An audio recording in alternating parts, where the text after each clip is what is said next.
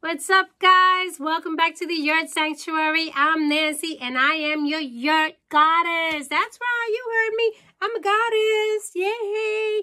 And today I'm going to be sharing with you the five things you should do before installing a wood-burning stove. So we finally got our wood-burning stove, and we're going to be installing it in our beautiful yurt. So, five things you need to do before you install a wood-burning stove. But first, let me remind you, please, if you're getting something out of this video, hit that like button. And if you haven't subscribed yet, please subscribe. So number one, and do this before buying the stove. Research the fire codes in your area.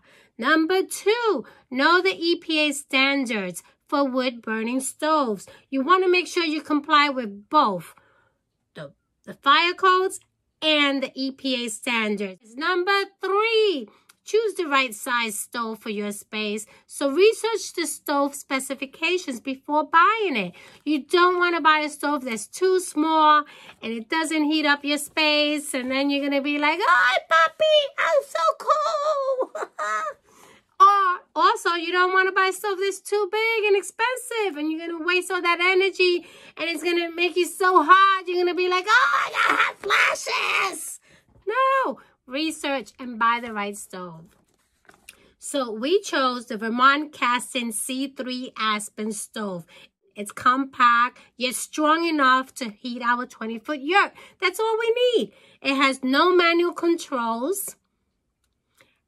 This is like the simplest stove you will ever operate. It's ideal for small and mid-sized spaces. Has a continuous combustion control. That's what the C3 stands for. Technology automatically optimizes heat output and efficiency throughout the life of the burn. What does that mean? That means that it gives us up to 10 hours. 10 hours! It's 10 hours of burn time from each load of wood so we don't have to keep getting up and loading it. And after you buy your stove, number four, do this. Always read and follow the manufacturer's installation instructions. They are detailed and you cannot, cannot go wrong if you follow the instructions. Before I tell you what number five is, don't forget to subscribe. This here video is going to be a part of a series that's going to be showcasing the entire installation of our wood burning stove. So you don't want to miss the upcoming videos. The next video will be on installing the piping for the chimney, which we've already started working on. So hit that subscribe button, guys. Okay, I know you've been waiting for this. And number five, Use fire-resistant cement boards for the surface, floor, and backsplash to protect any combustible area. So our combustible areas are the wood floors that the stove will be on, and the yurt lattice and canvas walls behind the stove. So obviously we want to protect that. So we use the Hardie cement boards and then you can put a layer of fireproof material on top of the cement boards. It could be fire bricks, even porcelain tiles. We chose limestone.